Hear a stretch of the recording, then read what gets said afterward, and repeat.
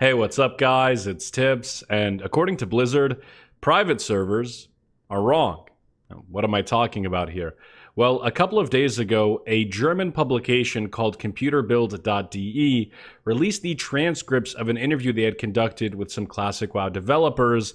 And while the majority of that interview was basically what we already knew at BlizzCon, um, there were a couple of parts that really, really stood out at me, namely an answer that came from Omar Gonzalez, who's one of the software engineers on the Classic WoW dev team, Really cool guy, and as you guys probably already know, Omar was one of the individuals who gave part of the presentation at the Classic WoW panel at BlizzCon. So, um, really, really cool guy, and the answer that he gave during this interview was very, very interesting. And just so I don't misquote him here, I'm going to read the question that he was asked and his answer. But bear in mind, guys, this website is a German website. And as a result, the information that you're seeing in front of you, the transcript that you're seeing in front of you, has actually been translated by Google Chrome. So take it with a pinch of salt. Um, some translations are obviously not perfect, and uh, as a result, some of this might be a little bit off. But I'm going to do my best to decipher the information I see in front of me, and where the English kind of gets jumbled up, um, I'm going to try to paraphrase what I think the translation is trying to say. So. Here's the question that Omar was asked during this interview, and this is his response. What are the biggest challenges for you in restoring the WoW version 112? Question, obviously. Here's the answer that Omar gave. I came across a very early code that I wrote when I started as a software engineer. He started at Blizzard back in 2003, by the way. He actually worked on Vanilla WoW originally. As I am now much more experienced in my job, it was a great challenge for me to ignore my instinct, clean up my old work where it was not absolutely necessary. Many of our players have not only loving, but also very specific memories of how certain game mechanics work. A big part of our job is to reconcile the memories with the workings. It has been found that in many cases, our memory was faulty or incomplete. Therefore, it is important for us to have an original build of 112 internally, which we can use as a reference. Now, what is Omar talking about here when it comes to memory? Well, a lot of us that have played vanilla, you, me, a lot of you guys out there, um, we all have very distinct memories of how certain things worked back in the day. And obviously, because Vanilla WoW is such a big game, and because there's been almost 15 years elapsed since Vanilla, some of those memories are going to be off. Human memory in general is very unreliable. That's why eyewitnesses and testimonies are oftentimes taken with a grain of salt, and usually you need a lot more evidence to substantiate a claim in court because memory itself can be manipulated, can be changed. And a lot of things that you might believe that you remember so vividly can be off. And of course, this extends to WoW Classic when players report certain aspects of the game, or at least claim the game operated in a certain way but the reality is their memory was wrong and it didn't. And uh, Omar gives us a great example of something like this that happened recently during the Classic WoW demo. So I'm just going to go ahead and continue with his answer. A concrete example of this was what happens when a sorcerer, I think they meant warlock, summons a demon while he has already summoned one. In the BlizzCon demo of WoW Classic, the demon did not appear at the end as the spell began to work. In Battle for Azeroth, the pet is despawned at the end of the spell. Many players reported this as a mistake, or at least saw it as a contradiction to the original functioning of the summon, so we checked the problem based on our player feedback. I believe what he's trying to say here is that in Vanilla WoW, back in the day, a lot of players reported during the demo that pets were despawning at the start of a new summoned pet meaning that if you're a warlock, let's say you have your imp out, you start summoning your Voidwalker, the imp disappears right away at the start of the summon. That is what the behavior was during the Classic WoW demo. Now, a lot of people who have very specific memories of vanilla or have played on vanilla private servers believe that the pet should stay out until the end of the new pet's summon cast, meaning that that imp would not disappear until you have fully summoned your Void Walker. And this was reported as a bug on the demo. A lot of people believed that is the case. The imp should stay out until the Voidwalker summon has completed. But according to Omar and the 112 reference code, the original vanilla 112 reference code, this appeared to be wrong. Many players reported this as a mistake or at least saw it as a contradiction to the original functioning of the summon, so we checked the problem based on player feedback. While many bug reports entered by players are correct, it turned out that this is not the case here. After a thorough review of our 112 reference code, we found that we had correctly replicated the classic behavior and that the demon pet actually disappears at the beginning of the spell. Very, very interesting. Essentially, the experience that a lot of private server players have and the faulty memories that a lot of players have about the summoning mechanism in vanilla is wrong. And the reason why I made this video is because I can totally foresee us having this conversation time and time again between now and Classic WoW's launch. I am certain, very, very certain, and you'll hear this from private server developers themselves, that there are a lot of mistakes made on private servers. There are a lot of mechanics, proc rates, resistance values, armor values, entire raid abilities that have been fabricated because those items were missing from the cores that these servers use. And as a result, the developers actually had to fill in the blanks pretty much based on their best knowledge. And as a result, the modern patch 112 client, the Nostalrius core that a lot of players have experienced over the years, is not necessarily an accurate representation of what vanilla WoW was. And that's a pretty big deal because unfortunately, nobody really knows what was Blizzlike except Blizzard because they're the only ones who actually have the patch 112 database and the patch 112 source code. Um, the rest of us have not experienced that since actual patch 112 back in the day.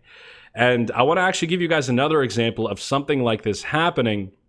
And this is actually a story that was relayed to me by Nano from the Nostalrius team. If you guys don't know who Nano is, he was the head of the QA department at the Nostalrius team, and he was one of the five NOST members that was invited to go out to Blizzard Entertainment back in 2016 and advocate for Classic Realms. Nano is a super cool guy, by the way. I did an interview with him not too long ago. I'll link it in the description below. Honestly, you need to watch that interview. The guy just he reveals a lot about private servers, about the visit at Blizzard, everything. Really, really go- good guy and um, just all around great character. But uh, one of the stories that Nano told me was when he went to Blizzard, Ian Hazzikostas approached him and he asked him, How did you guys code the deep breath on the Onyxia encounter? And Nano explained to him how the NOS guys had programmed the breath to work. And I think Ian like shrugged it off or laughed a little bit, like, oh my God, that's not how it works at all. And Ian went on to tell Nano that uh, that when Ian was first hired by Blizzard, one of the first things he went to look for was how that deep breath functioned because he had no idea at the time. And as you guys know, Ian was one of the big theory crafters back in the vanilla days with Elitist Jerks and whatnot. So he didn't know how deep breath worked. He went and checked how it worked at Blizzard. And, um, and basically what he told Nano was, you guys got it completely wrong. So we have an example here of boss mechanics on private servers not functioning properly or not functioning as they did back in patch 112 in original vanilla. Even more than that, we have a lot of other examples of private servers filling in the blanks when it comes to information that the servers simply don't have. And that is things like proc rates, which I mentioned. Uh, a big example of this is the Ironfoe proc rate. I believe on Nostalrius, I can't remember, I think it was on Nostalrius, the proc rate was set at 10% because there was a post on some German or European forum back in the day that suggested the proc rate was 10%. But uh, later on, it was discovered that the proc rate was actually closer to 2.5%, and it was changed. So proc rates on these private servers are completely made up, or I shouldn't say that because that's actually discrediting a lot of hard work that the QA guys do. Um, they're they're fabricated based on the knowledge that's available to some of these QA representatives, and um, obviously a guy like Nano, even if you had five nanos, 10 nanos, scouring the forums day and night to find out which proc rates or which weapons procced at which rates, you're not going to find that information if it simply doesn't exist. If there is no forum post that told us what the proc rate on Ironfoe was, we're SOL, right? So unfortunately, that has been happening over the past couple of years. That is the case on a lot of these private servers. And as a result, the version of vanilla that we experience today is not necessarily how it was back in 2006. And uh, And yeah, another great example is armor values of mobs and bosses, resistance values, you know, magical school resistances. This is another huge one that a lot of people think is wrong on private servers, but we don't have the information that tells us what is right. And I have a feeling that once the classic WoW alpha and beta comes out, we are going to see a lot of discrepancies between private servers and actual patch 112.1. And I think a lot of people are going to get upset. I think a lot of people are going to get upset. Um, I mean, me personally, I am somebody that uh, when I level, I grind a lot. And there are certain grind spots that I take full advantage of because based on private server data, the mobs in those areas have very, very low armor. And as somebody who traditionally plays a warrior, I take advantage of those low armor mobs because I can hit them a lot harder than a high armored mob. It's going to be very, very unfortunate uh, to find out that some of these mobs had a lot more armor back in vanilla, and it's really going to screw with my leveling process and my leveling route, and I'm probably going to get a little upset. But uh, hey, no changes, right? No changes. So um, I'm just, I'm really excited. I'm really excited to see what all these differences are going to be. And I think this is great for both Classic WoW newbies and Classic WoW veterans. A lot of Classic WoW veterans, or Vanilla WoW veterans, as I should say, have played Vanilla for a very, very long time and have gotten very accustomed to the current meta on private servers. To tell those guys that, hey, there could potentially be an entirely new meta because bosses might have different damage, uh, armor, and resistance values. Proc rates could be different. You know, boss abilities could be completely different. That is very refreshing. And I think a lot of veterans are very much going to appreciate that, especially theory crafting veterans, because they get to go back to the drawing board and recalculate everything to find out what the actual meta is. And on top of that, classic WoW newbies, vanilla WoW newbies that haven't played vanilla before or haven't played vanilla since the early days of original vanilla, um, they're not as far behind because, again, that meta might change. And as a result, it might help even the playing field a little bit with classic WoW veterans and classic WoW newbies. Uh, so, it's very interesting. It's very, very interesting. And I want to ask you guys this question. Based on your experience on private servers or based on your original vanilla memories, what is something that you think is going to be different on Classic WoW than on private servers because private servers have it wrong? I hope I phrased that question like understandably. I'd love to hear your answers in the comments section below. I'm really curious as to what you guys think is going to be different on Classic WoW versus private servers. Um, there's one thing that I think is very different based on my memory back in the day. I am pretty sure that rested experience on private servers accrues at a much faster rate than it did in vanilla, at least during early vanilla, because uh, yeah, if you log off for like two days on private servers, you got a full level of rested experience or something. Not a full level, but you know what I'm saying. Uh, something crazy like that. So that is one thing that I think is going to be very, very different on Classic WoW. But uh, again, I'd love to hear what you guys think. What do you think is going to be different on Classic WoW versus private servers? But yeah, um, really interesting article, guys. I will link it in the description below for you.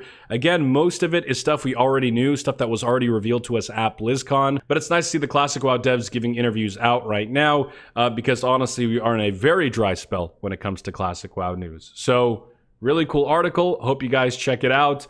And if you guys want to discuss this article or some of the topics that we discussed in this video, feel free to join my Discord channel, which has been linked in the description below. I want to be talking about this stuff like all day today and tomorrow. So if you guys have any questions or any comments about differences between private servers and classic WoW, let's talk about it, man.